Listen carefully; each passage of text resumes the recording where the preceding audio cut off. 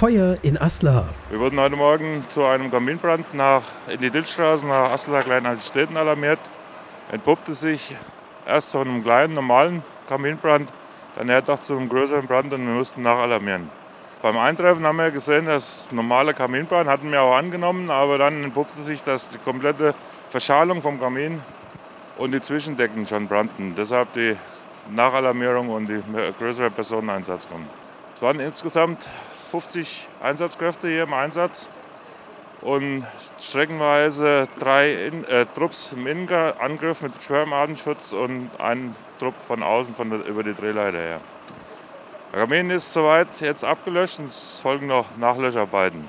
Verletzt wurde glücklicherweise niemand. Das Gebäude ist vorerst unbewohnbar. Die Familie wurde bei Verwandten untergebracht. Die Polizei schätzt den Schaden auf rund 50.000 Euro.